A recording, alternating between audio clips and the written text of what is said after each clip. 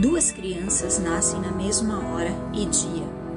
Os pais da primeira são ricos, inteligentes e cultos, e seu recém-nascido é saudável.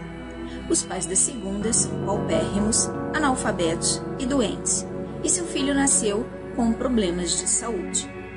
Qual a lógica desses acontecimentos? Deus é injusto? A natureza tem falhas? Sorte, azar e destino existem? Será que não tem ninguém governando o universo?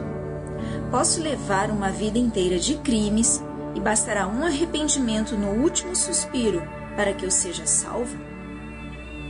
O que seria de nós com apenas uma oportunidade de existência diante do erro? Não somos infalíveis. Que pai não daria uma segunda chance a seus filhos? Ninguém que não aceite a reencarnação não conseguiu responder com lógica e coerência estas questões até hoje. O estudo do karma é bem complexo. Popularmente, as ideias que se refere ao karma têm conotação de purgar algum pecado ou para pagar alguma dívida desta ou de outra vida. Entretanto, quando se diz que o karma é inexorável, é sempre no sentido de que toda ação gera sua reação correspondente. A consciência pode mudar seu rumo de vida, usando a mesma vontade que a levou aos atos anteriores que geraram as repercussões que lhe perseguem agora. Basta mudar o padrão do que pensa, sente e faz na existência. Mudando a vibração, muda-se a condição. Karma é um termo sânscrito que significa atividade, ação e quer dizer lei de causalidade ou lei de ajuste.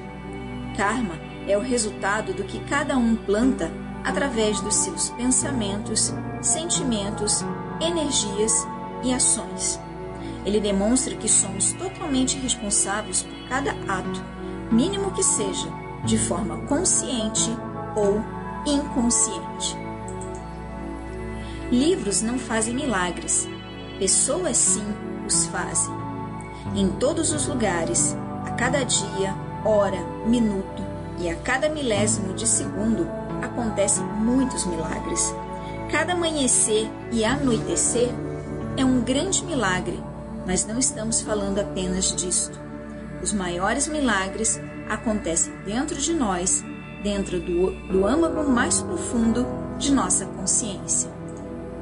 Pense em você e em sua vida.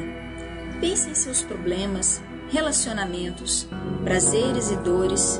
Observe-se como alguém lhe observaria de fora. Ao fim, tire as conclusões você mesmo. Analise. Você se acha injustiçado por alguma causa ou alguém? Você sente prazer em viver? Você acorda toda manhã com a alegria de estar onde está? Você acha que as coisas acontecem ao acaso? Você acredita em sorte e azar? Essas e muitas outras questões você vai encontrar no livro O Karma e Suas Leis, de nossa autoria. Muitos outros assuntos você vai encontrar no livro Karma, como, por exemplo, as três formas de aprendizado e evolução, ressonância ou lei de afinidades, ressonância bioenergética, semelhante se atrai, karma como mecanismo evolutivo, o que é evolução, tipos de karma, bagagens do karma, dentre outros assuntos. Este livro foi prefaciado pelo nosso grande amigo Wagner Borges, escritor, autor de 11 livros dentro da temática projetiva e espiritualista, projetor extrafísico, conferencista, consultor da revista UFO, colaborador de várias outras revistas. É colunista também de vários sites. E você pode encontrar esse livro no nosso site www.consciencial.org ou na nossa loja www.consciencial.com.br.